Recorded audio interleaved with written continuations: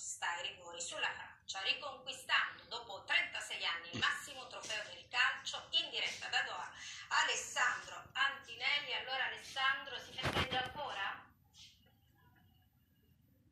Sì, si festeggia ancora, buongiorno, buongiorno da Doha.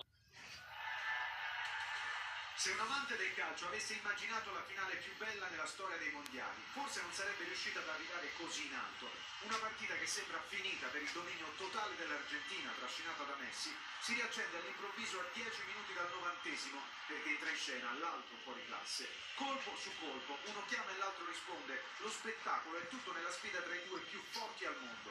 Mbappé segna una doppietta e porta la gara ai supplementari, in un'altalena infinita di emozioni. Ancora Messi, ma la questione non è chiusa, perché di là c'è Mbappé che sfrutta il terzo rigore della serata e fa 3 a 3. Se non fosse per Emiliano Martinez, prodigioso su Colomani a un passo dalla fine, e se non fosse per Lautaro, che fallisce di testa pochi istanti dopo il colpo del KO, la partita non andrebbe oltre. E invece, nel thriller dello stadio Lusail ci sono anche i rigori.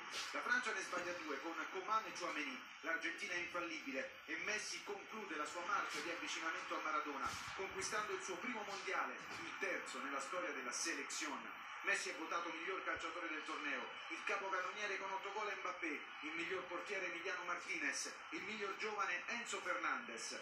Non sarà facile rivivere una serata così.